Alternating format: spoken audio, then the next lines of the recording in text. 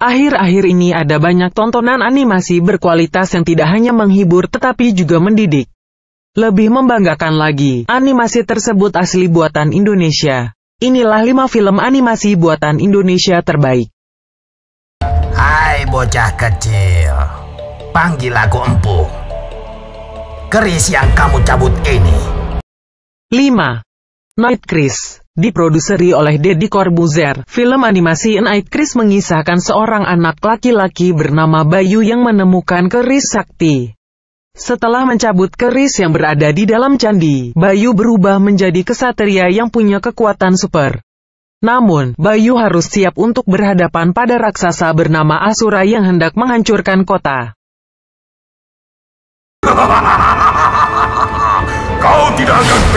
menghentikanku!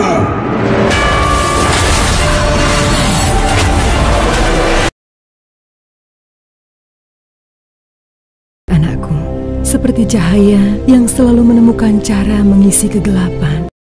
4. Petualangan Singa Pemberani Film animasi yang menjadi ikon dari merek es krim ini juga dibuat oleh anak bangsa. Film animasi Petualangan Singa Pemberani menghadirkan Giring Niji dan Putri Titian sebagai pengisi suara dari tokoh utama. Misi Singa Pemberani dan kawan-kawannya adalah mendapatkan kristal dan melawan Shadow Master. Keberanian singa!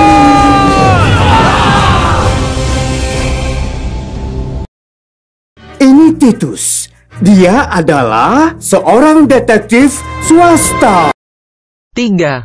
Titus Mystery of the Enigma Film Titus Mystery of the Enigma merupakan film animasi karya anak bangsa yang tayang pada tanggal 9 Januari tahun 2020. Film animasi ini mengisahkan petualangan dalam memecahkan misteri bersama Titus, detektif tikus dan Vira Kadal cantik yang merupakan pilot amatir. Film ini melibatkan bintang muda seperti Arbani Yazid dan Ranti Maria sebagai pengisi suara. Aku kasih tahu ya Titus, enigma itu tidak ada. Itu cuma mitos.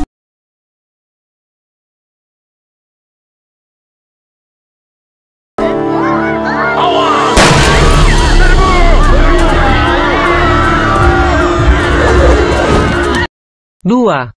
Ricky Rino Ricky adalah badak Sumatera muda yang kehilangan culanya setelah diambil oleh pemburu Mr. Jack.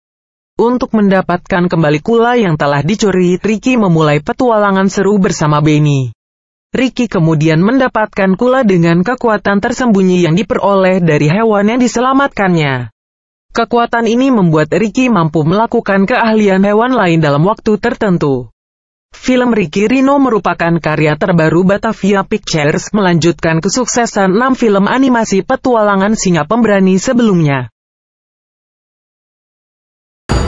Kita harus berangkat sebelum gelap. Angkut semua binatang ke perahu.